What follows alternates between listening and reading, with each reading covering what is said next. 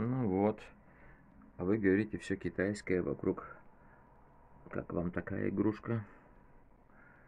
Cry Baby. Никто же не знает, что это такое. Но большинство. Еще фиг от планеты оторвешь. Вот. вот так вот. Тут у нас все по-взрослому.